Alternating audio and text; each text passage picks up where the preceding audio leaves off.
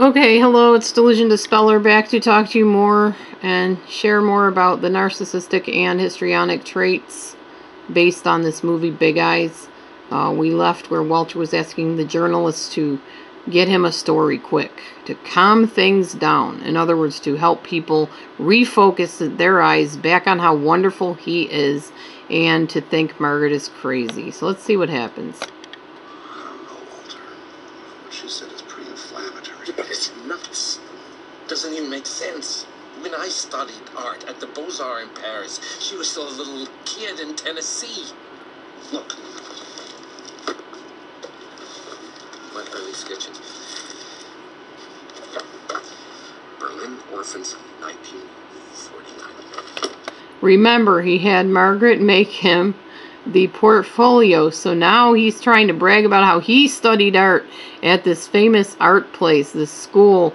And look, I have my portfolio here. These are my early sketchings. So he's trying to convince the journalist that he has all these early sketchings, that Margaret was still a kid when he started his art studies. So he's still trying to snow another person.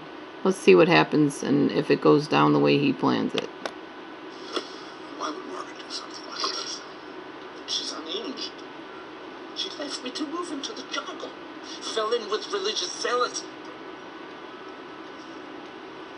Jehovah's Witnesses. I love that part. It's just funny. Now, whatever your opinions are about Jehovah Witnesses, everybody has their own opinion, and of course, they're the brunt of many jokes. But here, Walter paints them like some kind of Aborigine natives or something.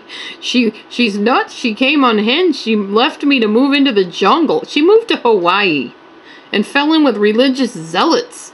Okay, yes, Jehovah Witnesses are very um, zealous, but he paints them to be like some kind of a bangy bangy from some tribe in Africa. And that's not at all what's going on here. Of course, he doesn't know because he doesn't live with her anymore. Thank God she got smart and left him. But he's trying to make her look like some kind of nutcase that left him to go move out into some tropical island jungle place. And that is so far from and and he knows better.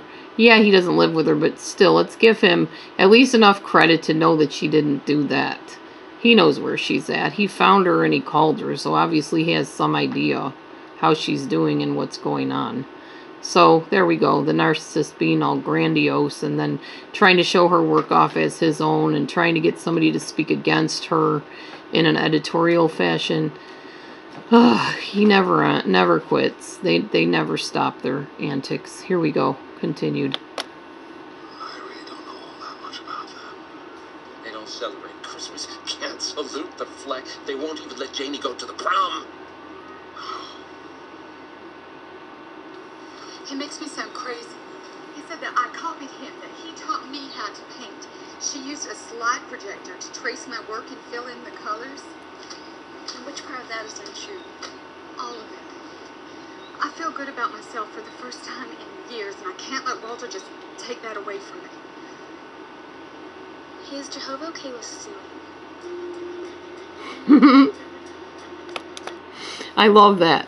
Her daughter pipes up, Hey, is Jehovah okay with suing? She gives her the idea that, you know, reclaim yourself all the way. Take him to court. Be done with it. Move on. You know, smart kid.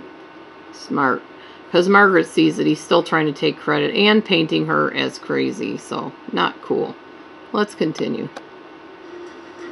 $17 million. The art world is abuzz. Today at federal court, lawyers will present their opening arguments in the case of Margaret Keane versus Walter Keane and Gannett Newspapers, a trial that could produce the largest libel and slander award in Hawaiian history. Okay, we're going to wait on that. I'm going to forward a little bit past this right into the courtroom because that's just talking about the case and setting it up. We'll watch Walter be interviewed here outside the courtroom in just a minute. There it is. All right, everybody's going into the courtroom now. Whole trial dismissed by noon. My only concern is that somebody get this woman some psychiatric help. She needs. All right, excuse me, gentlemen. Excuse me. Excuse me, please. Okay, once again, Walter is saying, that Margaret needs psychiatric help. Now he's telling it in front of the cameras to try to get more people to believe him, of course. And now we are in the courtroom. This is my favorite part of the whole entire movie, probably. How many years back do these go? Mrs. Keane has been making these statements since 1958. Okay, I'm going to skip ahead a little bit because what they're about to say is that because Margaret all along had said that Walter was the original painter, there isn't a whole lot they can do to sue the paper for posting uh, that about her. So they dismiss the Gannett, Gazette, whatever it is, and basically Walter has no supporters at that point. They say that we can't sue you for libel anymore because what you said, Margaret said, was true. She did say that Walter painted the paintings. So they were done with them. They didn't need their testimony anymore. Concerned about my old pal, Walter Keane. The Hawaiian heat cooked his brain. the only thing he knows about courtrooms and lawyers comes from watching Perry Mason on television. I am the sole creator of my art. This is my entire life, my contribution to the world. Mr. Keane, I've told you you must ask the witness questions. If you're acting as your own attorney, you cannot make statements at this time. All right. It's hard to keep all these things straight. Mrs. Keane, how do you expect anybody to swallow your fantastic story? Mr. Keane,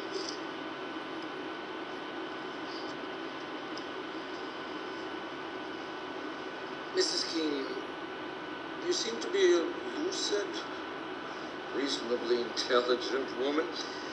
So how could you possibly have gone along with a far-out scheme like that? Felt forced into it. You had me in. He had me dominated.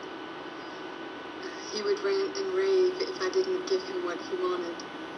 I was afraid, and I didn't see any options, so I went along. May I remind you that you're under oath? I just gave in. I allowed him to take credit for the big eyes.